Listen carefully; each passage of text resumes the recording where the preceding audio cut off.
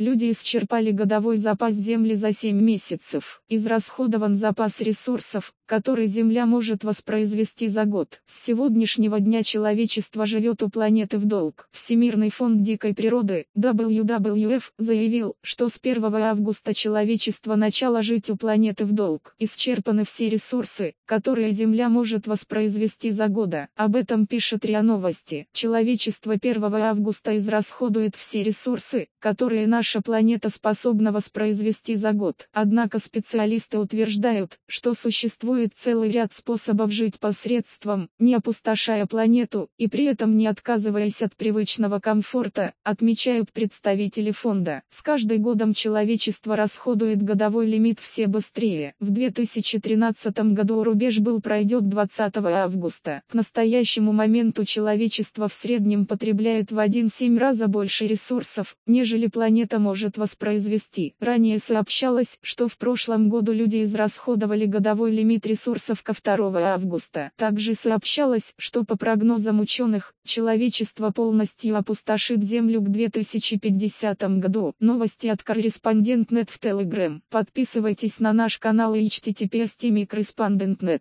По материалам сайта Newsgro.com.